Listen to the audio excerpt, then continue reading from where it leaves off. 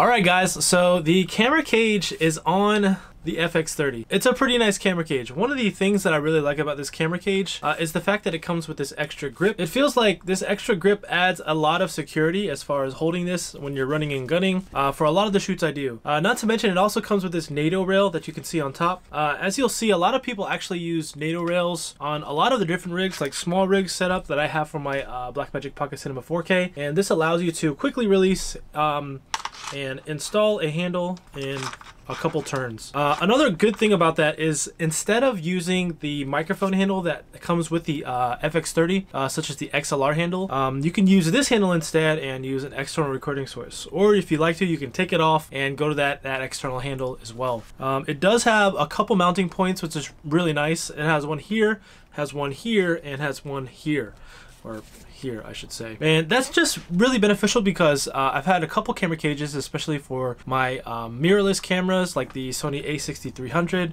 uh, even my Blackmagic Pocket 4K only has two mounting points Three mounting points means that whenever your camera is in this cage, if there's any movement from left to right, such as when you're taking on or panning left or right with your camera on the tripod, uh, it can sometimes loosen those top and bottom bolts, or if you have just one bottom bolt. And then you have to take everything apart in order for you to be able to tighten that back up.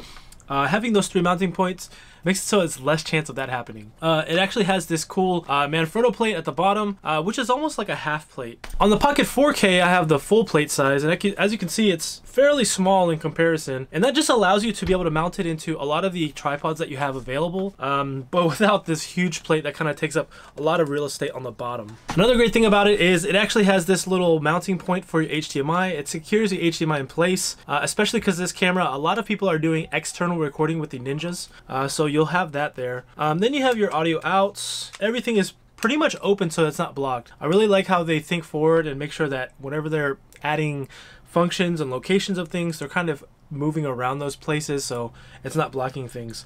Uh, another cool feature that is actually really cool um, that I found was you have this little magnetic um, screwdriver or flathead screwdriver uh, that you can use to tighten and loosen these pieces on here, which is really useful. I've had a lot of times where I just gotta tighten something really quick on the fly for a cold shoe mount or or even like this top mount here. You can take it off quickly uh, without having to go look through your bag of tools for a screwdriver or a flathead screwdriver. So really nice they did that.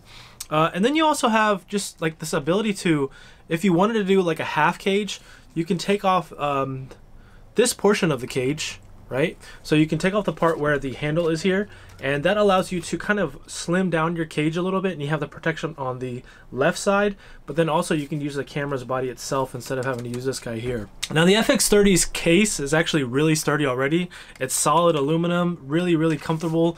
Uh, I just like that extra protection and the ability to be able to mount more things onto this uh, camera. Uh, I would recommend if you're going to be using this, then you're probably going to be rigging it out with monitors and things of that sort and tripoding it.